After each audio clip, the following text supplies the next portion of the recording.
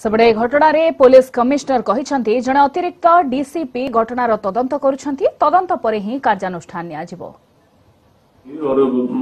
बड़ा संगीन अभियोग as the investigation right now is at the stage of FIR as I said it will take some time we will go through the process of investigation and we will try to ascertain the facts ଏବେ ବର୍ତ୍ତମାନ ଯୋଉ ଦୁଇ ବାଇ ଅଠର ଯୋଉ case ରହିଛି ମହିଳା ଥାନାରେ ସେ ତଦନ୍ତ କରିବେ ସବୁ ଆଲିଗେସନ ଇଣ୍ଟରନାଲ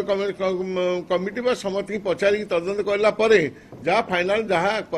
ଆଇନଗତ କାର୍ଯ୍ୟାନୁଷ୍ଠାନ ସେ ଗ୍ରହଣ କରିବେ। ଫଲ୍ସ ଆଲିଗେସନ ଜଣେ ଯଦି ଜଣଙ୍କ ସମ୍ମାନକୁ ହାନି କଲା ଭଳିଆ ଫଲ୍ସ ଆଲିଗେସନ କରେ ତା ଆଗେନ୍ଷ୍ଟରେ ବି ଡିପାର୍ଟମେଣ୍ଟାଲ ଆକ୍ସନ ନିଆହବ। କିନ୍ତୁ ଯାହା ହବ କେସ୍ ତଦନ୍ତ